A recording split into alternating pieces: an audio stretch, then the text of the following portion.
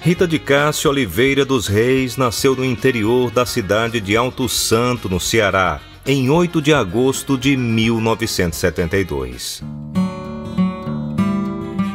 A garota de família simples, filha de um agricultor e uma professora, desde cedo se interessou por música. Seu pai e seu avô paterno gostavam de tocar sanfona. Rita gostava muito de ouvir seu pai tocando a sanfoninha de oito baixos.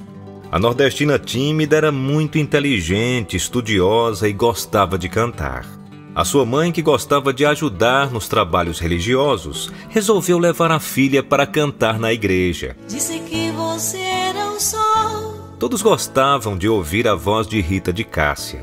Além de afinada, era uma ótima compositora. Em seu caderninho registrava suas canções, letras com muita poesia e lindas histórias de amor. O seu irmão, ao formar uma banda, convidou Rita para fazer parte do grupo. De início, quem não gostou muito da ideia foi o padre da igreja onde ela cantava. O sacerdote sabia do talento da garota e temia perdê-la para o forró. Inclusive chegou a falar com a mãe de Rita, que também não queria que a filha fosse para uma banda de forró. Mas Rita de Cássia, ao terminar os estudos, acabou indo cantar na banda do irmão. Naquela época não tinham muitas mulheres cantando em bandas de forró.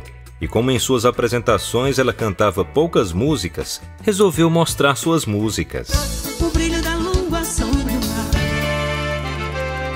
Rita de Cássia era muito humilde, não fazia questão de aparecer. Uma de suas composições foi Brilho da Lua, que rapidinho fez um grande sucesso.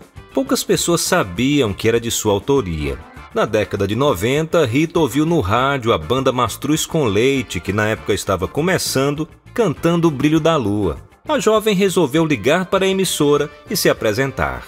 A partir daí, Rita de Cássia firmou uma forte parceria com Emanuel Gurgel, empresário e dono da banda Mastruz com Leite. O grande sucesso de Rita, chamado Brilho da Lua, foi primeiramente gravado por Eliane e depois por outras bandas. Já a banda Mastruz com Leite gravou outra composição de Rita, chamada Sonho Real. A música também estourou nas paradas. Depois, Mastruz com Leite gravou outras músicas de Rita, como Meu Vaqueiro, Meu Peão, Onde Canta o Sabiá, entre outras. Ó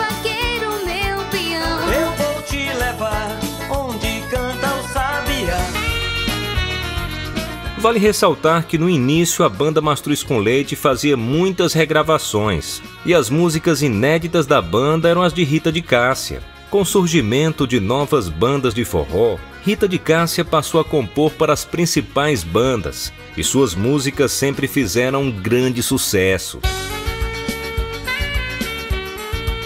Em 1993, Rita de Cássia ganhou o diploma de melhor compositora do Ceará. No ano seguinte, ela estava entre as melhores compositoras do país e ganhou o prêmio Destaque da região do Vale do Jaguaribe. Em 1995 foi gravado o CD Rita de Cássia, Redondo e Banda Sou do Norte.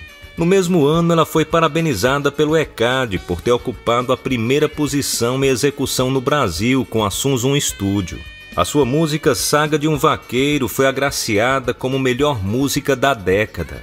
A maior compositora do Brasil, que compôs mais de 500 músicas, fez sucesso também como cantora e gravou vários discos. Ao contrário de muitos que na primeira oportunidade dão as costas para os amigos e colegas de trabalho, Rita não deixou o sucesso subir a cabeça e mesmo com a fama e muitas oportunidades, nunca deixou ninguém para trás.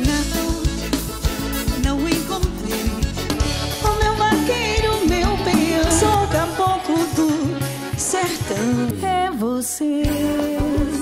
Feliz aniversário, meu amor. Ai, Sema! Parabéns pra você.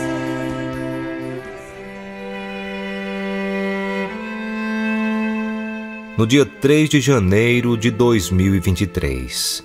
Aos 50 anos, Rita de Cássia faleceu devido a uma fibrose pulmonar.